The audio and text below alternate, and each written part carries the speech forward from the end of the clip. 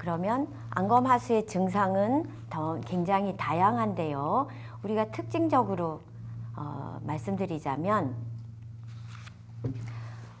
잘 보기 위해서 자기도 모르게 턱을 듭니다. 자기도 모르게 턱을 이렇게 드는 모습. 원래는 똑바로 봐야 되는데 그렇게 하면 가려서 빛이 들어오지 않기 때문에 턱을 들어서 빛이 요렇게라도 들어가게 하려고 하는 거지요. 측면의 빛을. 그래서 이렇게 턱을 드는 이런 모습들이 많이 있어요. 그러면 어, 안 그래도 인상이 안 좋다. 어, 왜 째려보냐. 좀 눈좀 떠라. 이런 소리를 듣는 마당에 턱까지 들면 굉장히 외모적으로 어, 오해를 많이 받기 때문에 젊은 친구나 또는 나이가 들면서 이렇게 좀 교정을 원하는 분들이 많이 있습니다. 그리고 이게 바로 마르커스 건턱 증후군이라고 하는 좀 생소한 좀 흔하지 않은 현상인데 특징적이라서 설명을 드리는데요. 이 그림처럼 이 턱 쪽에 있는 저작근을 지배하는 신경과 눈을 뜨게 하는 그 근육을 지배하는 신경이 내부적으로 연결이 돼 있어서 음, 입을 벌리는 걸 한다든지 하품을 한다든지 씹는다든지 이럴 때에 갑자기 네, 아, 어린아이 경우에는 젖을 빤다든지 할 때 입을 벌릴 때 눈이 정상적이었다 갑자기 확 떠지는 그런 좀 특징적인 증상이 보여서 이거를 마르쿠스 건 증후군이라고 하는데 흔하진 않습니다. 오히려 더 흔한 눈은 이런 소견이지요.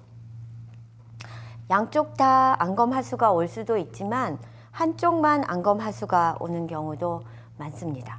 그래서 그런 경우에 그 이 눈을 뜨게 하는 근육이 이상이 생긴 거겠죠? 그럼으로써 이분이 이차적으로 어떤 얼굴 모습을 하느냐.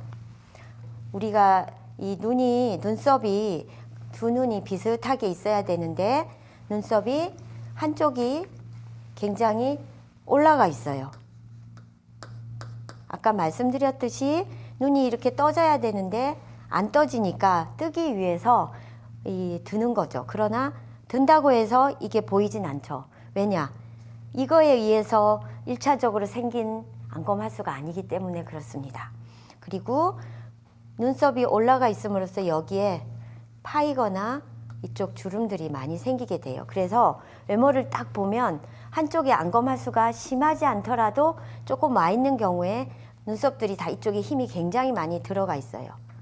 이 부분을 판단해서 하는데 굉장히 중요한 소견입니다. 어떤 분들은 이렇게 들고 어, 있은, 있는 눈이 이런 거는 보통 인지를 못하기 때문에 이런 거에 대해 별로 신경을 안 쓰고 수술을 하고 나서 아 오히려 짝눈이 왔다 이제 교정을 좀 했을 때 여러 가지 또 어, 변화가 오거든요. 그래서 이 원리를 아시면 이해를 하셔야 납득을 하시거든요. 그래서 제가 그 원리를 설명을 이제 해드리면 이해를 하시고요. 그리고 또 하나 이 안검할 수가 있는 분들은 근육이 안에서 당기는 그 안검 안검 거근 어, 올림줄 그 널힘줄 올림근 널힘줄이 약한 분들은 여기가 이렇게 잘 꺼져요. 쑥 들어가요. 잘 못 당김으로 여기가 푹 꺼져 버려요. 그래서 이런 꺼지는 또 특징적인 모습도 많이 보이기 때문에 이런 부분들도 우리가 관심 있게 보고 있고요. 이쪽은 벌써 동공이 가리니까 그죠? 동공이 가리니까 눈의 크기가 굉장히 짝눈의 표가 나지요. 그래서 이 짝눈을 어, 교정을 해주세요 하고 오는데 사실은 우리 눈에서 이 근육에 문제가 있지만 이 눈에도 문제가 와 있어요. 어떤 문제냐? 이 헤링스 헤링의 법칙이라고 하는데요. 헤링스 로 이게 뭐냐면 우리 뇌에서 눈을 뜨라고 아까 할 때 제4 뇌신경을 통해서 양쪽에 어, 명령을 내리면 와서 눈꺼풀이 올라가죠. 그 안검, 거근, 그 근막에 의해서 당기는데 이 눈은 요만큼밖에 못 당겨지는 거죠. 아무리 당길려 그래서 여기를 들고 보는데 어, 이 눈은 번쩍 뜨잖아요. 그런데 이 눈이 안 당겨지니까 뇌에서 아, 힘을 더 주세요. 힘을 더 줘라. 자꾸 신호를 보내요. 그러면 힘을 원래는 이만큼만 주고 받는데 안 떠지니까 힘을 더 줘요. 이게 힘입니다. 힘은 똑같이 줘요. 그러면 이 눈은 더 이상 힘이 없어서 못 올리니까 이 정도 있는데 눈썹만 올리고 있죠. 이 눈에는 힘이 더 들어가니까 원래 이 정도 떠도 이만큼만 떠도 되는 눈인데 눈을 부릅 떠요. 부릅 뜬다. 부릅 뜬다. 이게 바로 헤링스 법칙이에요. 헤링이란 사람이 발견한 원칙이에요. 그래서 이 눈은 부릅 뜨고 있어요. 그러면 어떤 결과가 생길 수 있느냐? 이 눈에 이제 수술을 해서 이렇게 제가 뜨게 해놨죠. 이렇게 해놓고 나면 이 눈이 이제 힘을 힘을 이렇게 많이 안 줘도 돼요. 이 이만큼만 힘줘도 되거든요. 그리고 이쪽도 이만큼만 힘줘도 되거든요. 똑같이. 그러면 이 눈이 원래 원래 위치로 돌아와요. 이렇게 부릅뜨지 않아도 되니까 요 정도 뜬단 말이죠. 그래 되면 짝눈 맞추기가 우리가 이 눈을 보고 짝눈을 맞추는데 좀 어려워요. 오히려 이 눈이 더 처져 가지고 이 눈이 더 커진 상태로 비슷해져요. 그래서 제가 항상 우리 고객님들 환자분들한테 수술 전에 드리는 말씀 중에 짝눈 될 수 있다.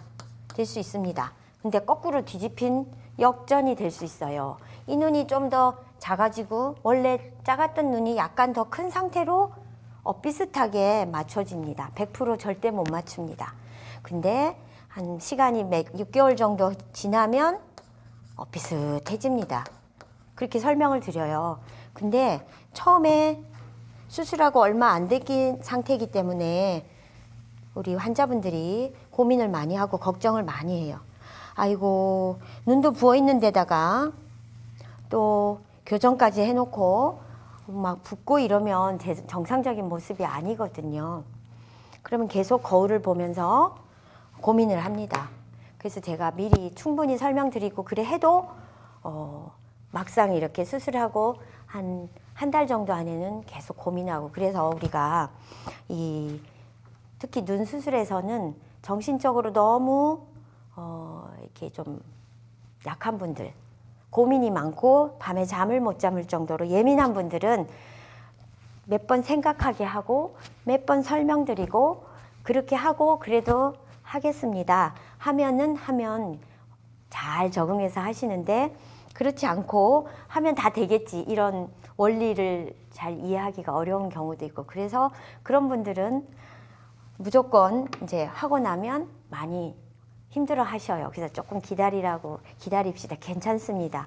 그 말씀을 계속 드리면서 이렇게 안심시켜야 되는 그런 과정이 필요한 경우도 있답니다. 그래서 우리가 우리 이건 누구의 잘못도 아니에요. 하나님이 이렇게 만든 거예요. 이 눈이 안 떠지니까 이 눈을 크게 뜨게 힘을 줘서 부릅뜨고 있다가 이 눈이 좀 정상적으로 되니까 이 눈이 조금 내려온 거예요. 그냥 엇비슷하게 맞춰집니다. 그게 또 인체의 신비거든요. 그래서 그런 부분들이 있다는 거 아셔야 되고 그래서 지금 안검 하수가 한쪽만 와도 양눈 수술을 하는 게 원칙이에요. 이 눈도 사실은 비정상이거든요. 그리고 숨겨져 있는 안검 하수에 그런 그 문제가 많이 있어요. 그래서 특히 나이가 들어서 하는 안검 하수인 경우는 무조건 양눈 수술 해야 돼요. 어, 그래서 요즘은 또 어떤 분들은 요즘 이제 안검하수가 심한 경우는 어, 의료보험이 되고 어, 실비가 되고 그럴 수 있기 때문에 어떤 분들은 어, 한쪽은 뭐 오늘 하고 한쪽은 한 다음 날 해주세요. 날짜를 따로 해야 실비보험이 된답니다. 이런 잘못된 말씀을 듣고 또 그렇게 해주세요. 네, 그건 절대 안 해줍니다. 안 그래도 짝눈 되고 이 눈 서로 봐가면서 교정을 해야 되는데 그런 식으로 하면 절대 안 됩니다. 네, 그거는 다시 한번 제가 설명을 드리고요. 자, 그러면 안검 하수 정도가 어느 정도이냐, 수술해서 괜찮을 건지, 보통 눈이 좀 졸려 보인다고 젊은이들 와서 안검 하수인지 어, 확인해 주세요. 이런 경우도 좀 있거든요. 그래서 제가 아, 이제 진단을 해드려야 되는데 그럴 경우에 진단의 기준이 있어요. 자, 그냥 착 봐서 이런 분처럼 알 수도 있지만 진단의 기준은 크게 어, 두 가지를 보고 하는데요. 이 안검 거근 기능 검사 이 아까 말씀드린 그 당기는 근육이 기능이 정상인지 아니면 정말 신경이 마비돼서 수술을 해도 그냥 일반적인 수술을 하면 안 되는 경우도 있거든요. 그래서 이 기능이 살아 있어야 되는데 어느 정도까지 살아 있어야 할 수 있는가. 이 아까 말씀드린 대로 이 눈꺼풀이 들어 올려야 된다 그랬죠? 그 근육이 바로 안검 거근이거든요. 그 기능이 감아서 쓸 때부터 떴을 때까지 그 폭, 요 여기 어, 자가 있습니다. 이 0에서부터 11mm까지 이분은 올라가네요. 그래서 그런 경우에 11mm, 정상 15mm 정도입니다. 15mm 최대. 여기가 더 떠져서 이렇게까지 떠지면 눈동자가 더 보이고 아까 여기에서부터 여기까지 어, 15mm 여기네요. 요 정도까지. 가 정상이에요. 올라가. 이분은 조금은 부족해도 그래도 동공이 어느 정도 보이기 때문에 완전 안검 하수라고는 하지 않거든요. 그런데 약간 약간 떨어져 있습니다. 어, 이 경우는 굳이 수술을 안 해도 되고 본인 이제 여러 가지를 고려해서 저희가 수술을 하게 됩니다. 그래서 이, 이 영어로 돼 있는데 안검 거근 기능 검사 어, 그 영어의 원 이름이 levator levator 머슬이기 때문에 levator function test 그래서 LFT라고 그냥 약자로 해놨고요. 원래 한 어, 15mm까지가 정상이라 했고 아주 나쁜 경우 는 우리가 보통 안검 하수가 있는 경우는 한 8mm, 8mm 이하 정도면 수술을 하는 게 도움이 되는 경우가 많아요. 그 경우는 요 정도까지밖에 안 떠지는 경우죠. 5, 6, 7, 8. 요 정도까지만 눈이 올라오는 경우죠. 이런 경우. 그런데 우리가 피부가 또 이렇게 처진 분들은 이 피부에 가려서 이 LFT가 안검 거근 기능이 상쇄되는 경우, 마스킹, 그러니까 가려지는 경우는 그 피부를 살짝 들고 요 안에서 이렇게 재야 되는 걸로 돼 있고요. 또 눈썹을 막 이런 분들은 드시잖아요. 그래서 눈썹을 못 들게 여기를 손으로 꽉 누른 상태에서 이 기능 검사를 저희가 합니다. 그런 상태에서 이렇게 한 8mm 정도까지밖에 안 올라간다. 이러면은 수술을 고려를 하고요. 그 다음에 어떤 분들은 정말 이보다 8mm 정도면 그래도 괜찮은데요. 더 안 되는 분 있어요. 한 4mm 이 정도. 또 어떤 분은 거의 안 올라오는 분들. 아예 이 기능이 없는 경우 이게 아예 못 올라와서 요거로만 들고 보시는 분들도 계시거든요. 그래서 그에 따라서 수술 방법을 달리해서 저희가 하고 있습니다. 그래서 제일 중요한 1번 검사가 안검 거근 기능 검사. 그래서 젊은 분들이 오셔서 제가 안검 하수가 맞나요? 그러면 제가 그 검사를 하는데 이런 식으로 합니다. 손으로 이 눈썹을 완전히 눌러야 됩니다. 완전히 세게. 이걸 못 쓰도록.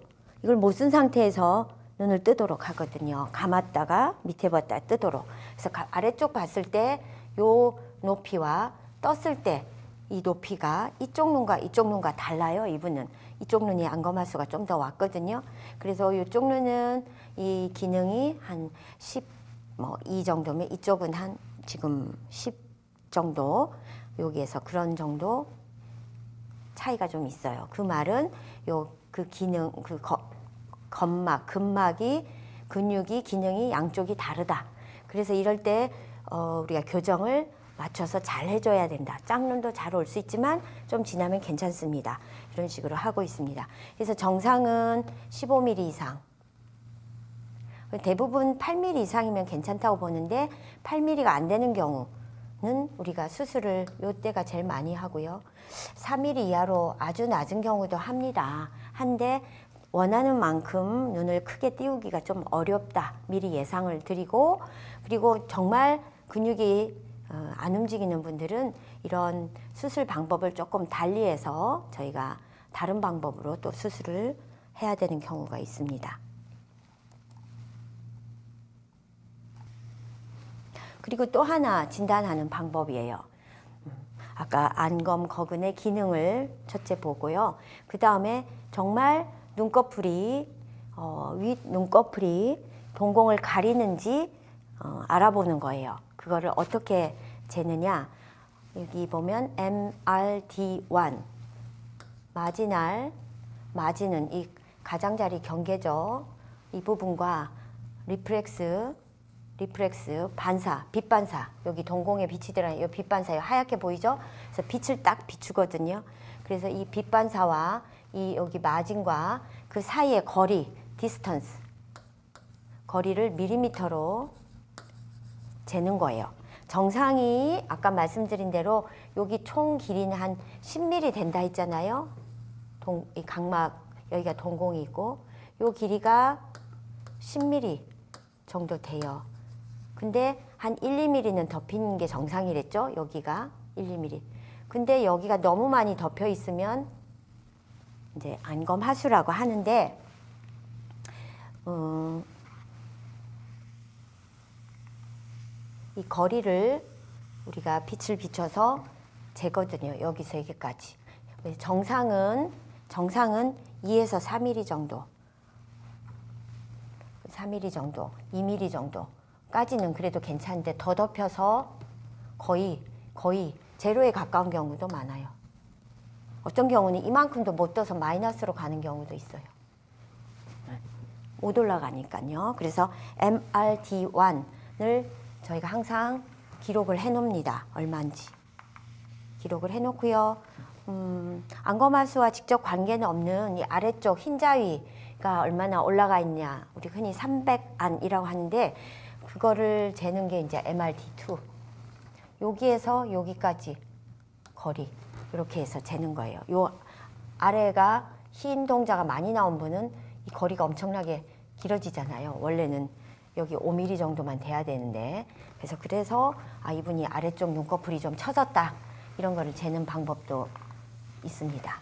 그래서 여기에서 제일 중요한 거는 MRT1 마지날 리프렉스 디스턴스라 해서 이것도 어, 리, 어, 레베이터 펑션 테스트와 MRT1을 꼭 정확하게 누르고 정확하게 눈꺼풀 처진 부분 없애고 이렇게 딱 빛을 비추어서 우리가 검사를 해서 기록을 하고 그거에 따라서 수술을 하게 됩니다.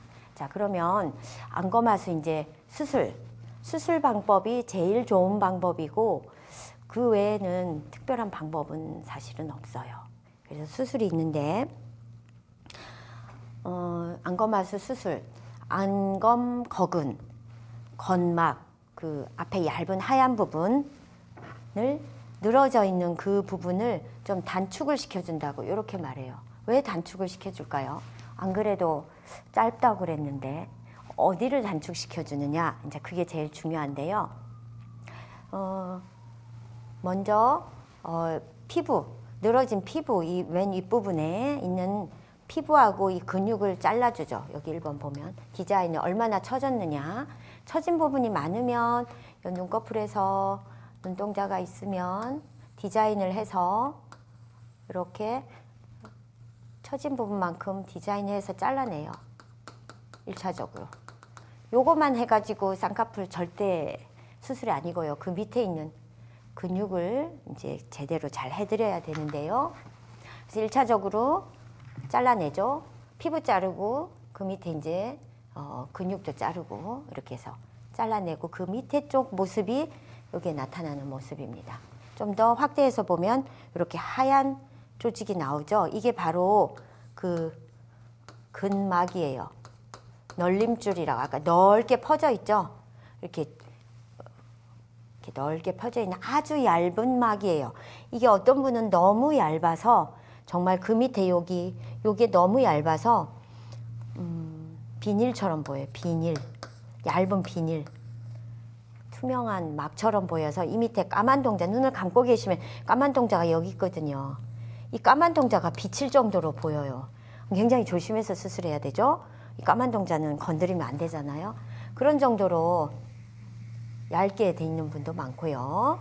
늘어져서 그래요. 우리가 비닐을 열을 가해서 쫙 늘리면 얇아지잖아요. 이 막이니까 이게 너무 늘어져 가지고 얇아져 있어요. 근막이 너무 얇아 속이 다 비칠 정도. 그러면 이 얇아진 근막을 어, 이 근막이 수축을 해서 당김으로써 이 지금은 요 눈꺼풀 감고 있지만 요게 찰싹 올라가야 또 떠지잖아요. 그런데 이게 너무 늘어져 있으니까 이거를 좀 짧게 해주는 거예요. 단축. 요만큼 잘라내고 요 부분하고 요 부분하고를 연결해 주는데 그냥 짧게 잘라내고 연결하면 이, 이, 이, 이, 마- 이 부분이 그냥 헷가닥 말려버려요. 이렇게 말려서 이 빨간 어, 속눈썹이 난 요 부분이 그냥 뒤집어져 보여요. 그렇게 하면 안 돼요. 그래서 이 판을 들어 올릴 수 있도록 여기 아래쪽에 있는 건판에 건판이라고 아까 좀 딱딱한 판이 있다 했죠? 거기에다가 이렇게 고정을 딱딱 시켜놔야 돼요. 그게 이제 힘든 과정인데 얼마를 잘라내야 될 건지 그리고 얼마를 줄여줘야 될 건지 이게 이제 굉장히 어려워요. 우리 인체이기 때문에 보통은 우리가 눈동자 어, 눈동자 수학적으로는 나와 있거든요. 얼마를 단축시켜야 되느냐? 이렇게 이렇게 눈동자가 이래 있는데 이만큼 있어서 한 1, 1mm 정도만 이 MRD1 더 올렸으면 좋겠다. 이러면 이 근막을 얼마를 자르면 좋을까? 얼마를 단축 이게 나와는 있어요. 보통은 음, 1대 3. 여기 한 3mm 정도 잘라내고 앞으로 이동해서 붙여주면 대충 여기가 한 1mm 올라간다.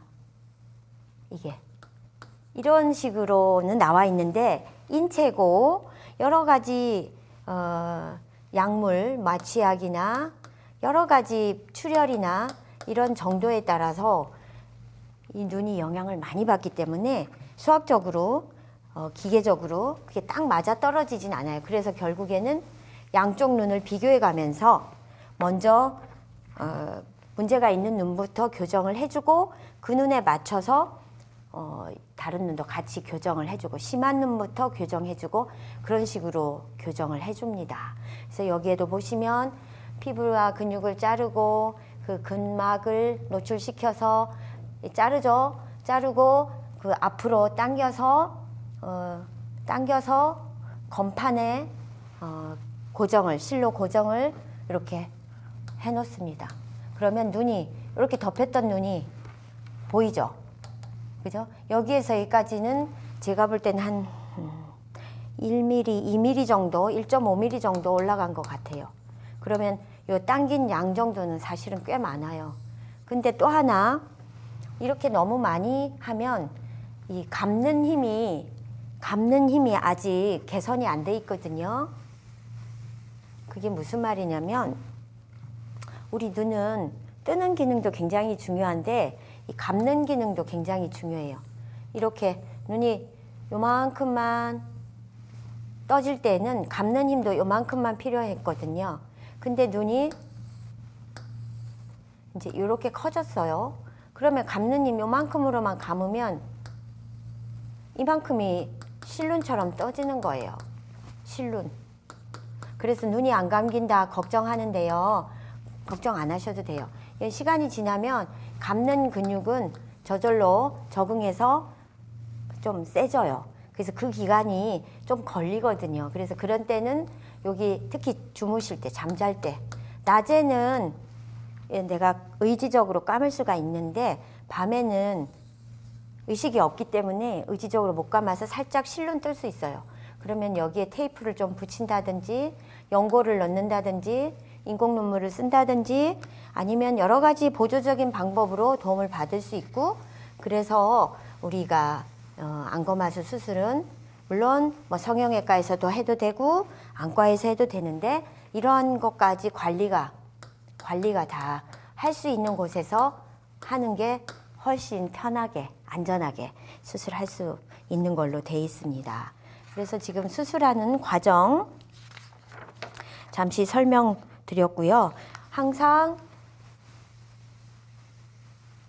눈을 이렇게 수술을 해서 교정을 크게 해놓으면 헤링의 법칙에 의해서 다른 쪽 눈도 눈이 쑥 내려간다. 그래서 그 눈도 같이 교정을 하면 항상 짝눈이 아무리 잘 맞춰도 처음에는 조금 생길 수 있어요. 이거는 어쩔 수 없는 인간의 눈이라서 생기는 현상이에요. 그래서 제가 어, 수술하고 나면 거울 보지 마세요. 거울 보면도 아무 의미가 없어요. 스트레스 받아요. 그래서 거울을 별로 이렇게 보지 않도록 오히려 안심시켜드리고 괜찮습니다. 그러면 사실 괜찮아지거든요. 그래서 그런 말씀도 많이 드리고 있습니다. 그러면 일반적인 이제 어, 안검하수 수술했을 때의 소견 어, 보시면 수술하기 전에 위쪽의 모습, 수술한 후의 모습, 어, 어린이 그리고 어른 있습니다. 수술하기 전에 어, 오른쪽 눈만 잘 안 떠지기 때문에 지금 이쪽은 동공 빛 반사가 보이고 안 보이죠? 그래서 안검 하수로 어, 수술을 했어요. 어, 어린이 소아 환자 해서 빛 반사가 보이게 돼 있고 아마 안검 거근 단축술을 해서 했을 거고요. 이분도 이분은 연세가 좀 있으신 분인데 어, 눈이 잘 안 떠지죠. 눈이 안 떠지면 쌍꺼풀이 굉장히 두꺼워 보여요. 이 쌍꺼풀이 좁, 좁아져야 되는데 이게 들어감으로써 눈, 눈이 이래 올라감으로써 쌍꺼풀이 좁아져야 되는데 쌍꺼풀이 너무 크게 보이니까 졸린 눈 같다 소리도 많이 듣고요. 동공도 덮여 있고, 그죠? 동공도 요 안에 덮여 버렸네요. 그래서 수술을 아까 같은 과정으로 하고 나면 일단 여기 빛반사 보이고요. 그리고 눈썹도 제 위치로 내려와 있고 훨씬 똘, 또렷한 눈매가 되잖아요. 그래서 이런 식으로 수술 전후 모습이 바뀐다는 거. 근데 이제 저희들이 쌍꺼풀은 어쩔 수 없이 절개선인데요. 시간이 지나면 그렇게 크거나 어색하지 않아요. 그래서 너무 큰 걱정 안 하셔도 되거든요. 그런데 어, 대부분은 안검 거근 단축술로 되는데 너무 기능이 없는 분, 아까 말씀드린 이런 그 안검 거근의 기능이 정말 거의 뭐 제로에 가깝거나 그러니까 신경이 문제가 돼서 아예 들어 올리지 못한다든지 그럴 경우에는 이 안검 거근 가지고 해도 아무 효과가 없어요. 오히려 눈만 안 감기기 때문에 우리가 여기 이런 분 검사를 해서 만약에 그렇다 판단이 되면 이마 근걸기라고 그래서 여 이마 쪽 눈꺼풀이 있는 데에다가 이 건판 이쪽에 이렇게 걸어주는 거예요. 이 골막에. 그래서 눈썹을 들므로써 눈이 떠지도록 이렇게 할 수밖에 없는 경우도 있습니다. 그래서 원인에 따라서 기능에 따라서 근데 이런 경우는 그렇게 많지는 않습니다. 이마에 이마 근 걸기 수술을 하기도 합니다. 그러면 제가 수술했던 환자분들 증례를 보면서 어떻게 모습이 바뀌는지 설명드릴게요. 음, 젊은 분이었는데요. 미리 그때 봤을 때 어, 안검 거근 기능이 한 8mm 정도로 측정됐어요. 여기서부터 위로 뜰 때까지. 젊은 친구라 이렇게 피부 처짐이 이 많지는 않았어요. MRD1 제로 가려서 빛이 들어가지가 않죠. 이렇게 해서 어, 수술 전의 모습이고요. 수술한 직후의 모습. 네. 이 분이 동일한 분인데 눈썹을 예전에 이렇게 들고 여기 주름도 보이죠? 아주 젊은 친구인데 벌써 주름이 이렇게 잡혀 있어요. 수술 바로 수술 끝나고 우리 이분은 아마 실을 빼고 바로 찍은 것 같네요.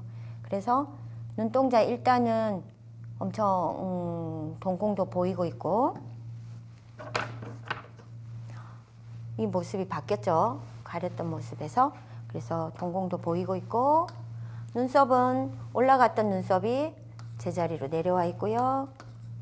이마에 주름도 표가 안 나죠. 이렇게 많은 그리고 눈매가 좀 졸린 눈매 약간 어두운 모습에서 좀 밝고 좀 또, 또렷한 눈매로 바뀌었어요. 그러면 훨씬 이제 외모적으로도 아주 좋아진 모습이죠.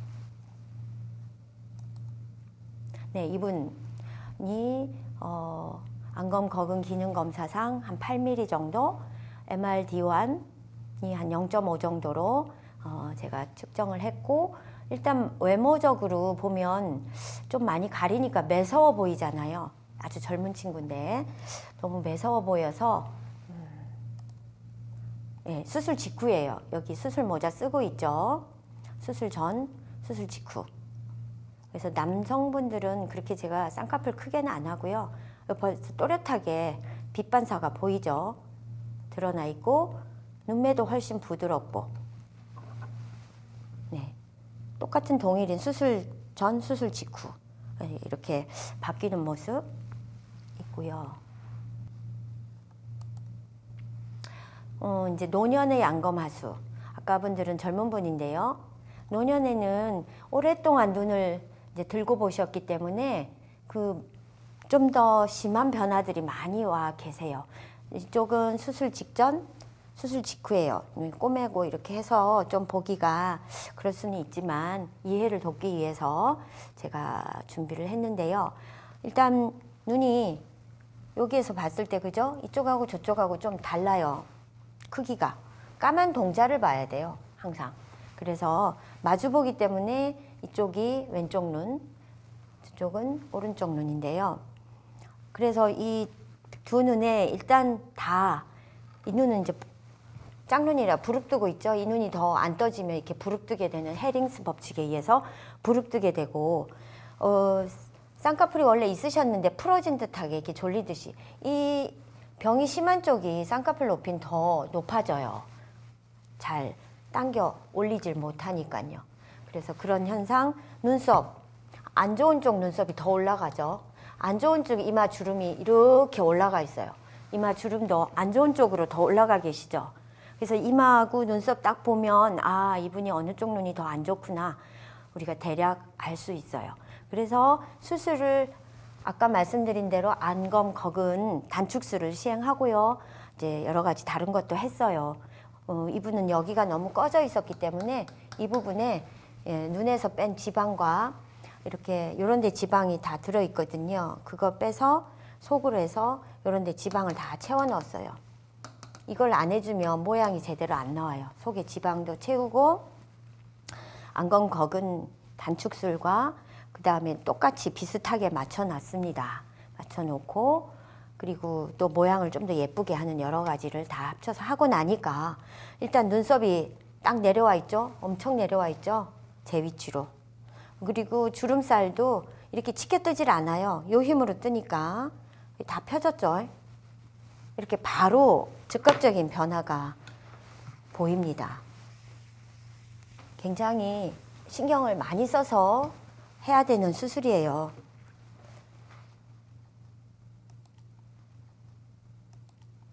어, 이분도 여성분인데요.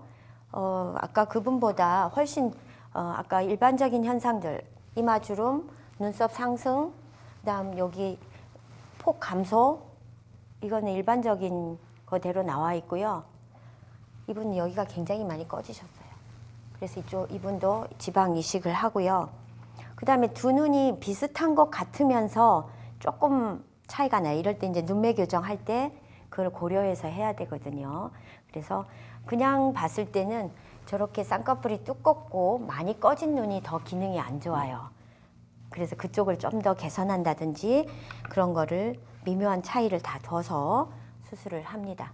수술 직전 직후 모습 많이 바뀌셨죠? 네.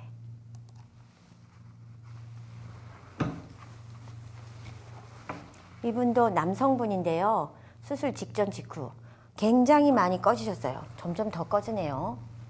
굉장히 많이 꺼지셨고 오른쪽 눈, 이 눈이 오른쪽입니다. 오른쪽 눈이 더 가리고 있어요. 그죠? 차이가 있죠. 가리고 이를 보시면 오른쪽 이마 주름도 좀 더 진하게 잡혀 있는 것 같긴 해요. 그래서 양쪽의 눈매 어, 그 단축술 시행하고 여기 지방을 좀 채워드린 상태로 이렇게 수술을 마쳤어요. 벌써 많은 변화가 와 있죠. 눈썹 똑같아지고 낮아지고 이렇게 짝눈 교정, 지방 이식 이렇게 같이 하면서 수술을 해서 개선을 안검하수 개선을 시켰습니다.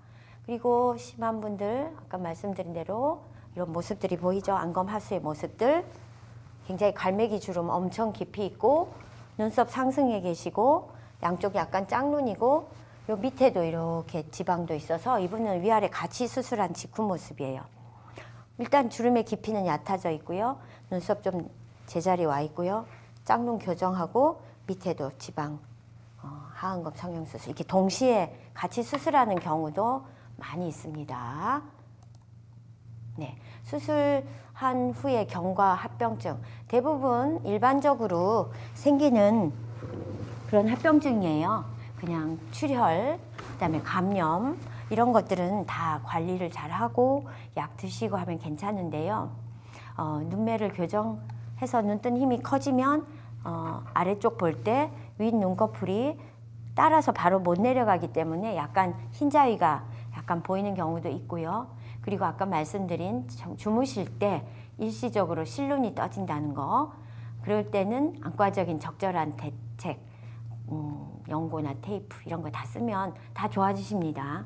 어, 다 좋아지시고 그래서 우리가 안검하수 특히 노년 어, 젊을 때도 그렇고 짝눈이나 졸린 눈 이런 외모적인 문제와 그다음에 치료적인 것도 같이 하는 그런 두 마리의 토끼를 잡는 게 바로 이 안검하수이고 안검하수의 어, 제대로 된 수술 치료 방법입니다. 그래서 이런 점을 이해하시고 어, 그냥 너무 쉬운 간단한 수술은 아니에요.